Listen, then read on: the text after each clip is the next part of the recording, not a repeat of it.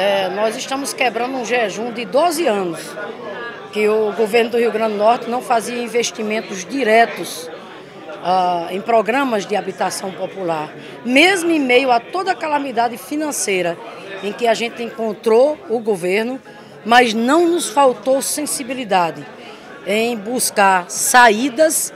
E o fato é que com a contrapartida de 11 milhões de reais que o governo está assegurando, nós vamos investir quase 60 milhões em habitação popular, trazendo dignidade para as famílias e, ao mesmo tempo, promovendo também a geração de emprego com esses investimentos, movimentando a economia no setor da construção civil.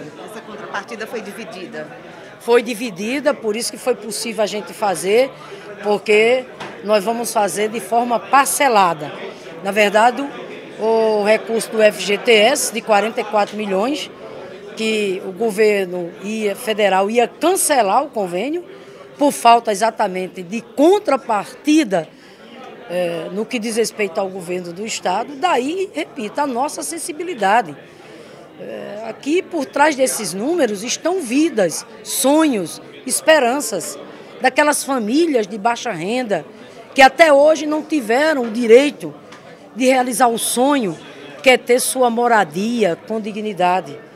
É disso que nós estamos falando aqui. Por isso que a governadora não titubeou, mesmo em meio a toda a calamidade financeira.